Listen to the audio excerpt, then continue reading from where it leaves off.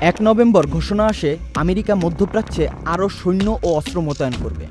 পেন্টাগনের মুখপাত্র বলেছেন, মধ্যপ্রাচ্যের কোনো দেশ যদি মার্কিন সেনা বা তাদের সামরিক ঘাঁটিতে হামলার চেষ্টা করে, তাহলে আমেরিকা নিজেদের জনগণকে সুরক্ষিত করতে সব ধরনের প্রয়োজনীয় পদক্ষেপ নেবে।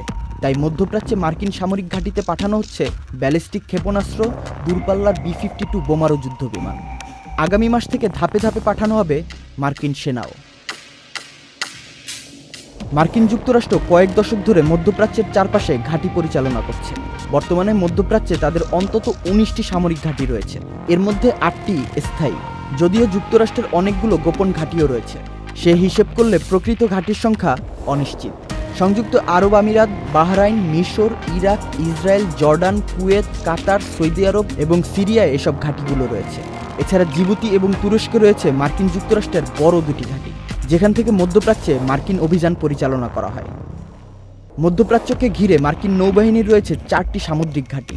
মার্কিন ঘাঁটিগুলোতে ক্ষেপণাস্ত্র বা ড্রোন থেকে রক্ষা পেতে রয়েছে অত্যাধুনিক বিমান প্রতিরক্ষা ব্যবস্থা। আধুনিক প্রতিরক্ষা ব্যবস্থা থাকা সত্ত্বেও বিগত বছরগুলোতে ইরাক ও সিরিয়ার ঘাঁটিতে সৈন্যরা অনেকবার হামলার শিকার হয়েছে।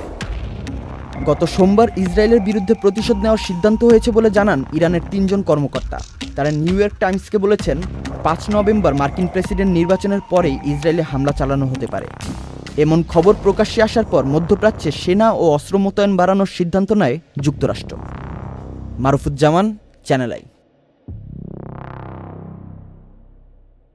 Million offer, Walton fridge কিনে পেতে পারেন বিশ লক্ষ টাকা। রয়েছে কোটি কোটি টাকার নিশ্চিত উপহার।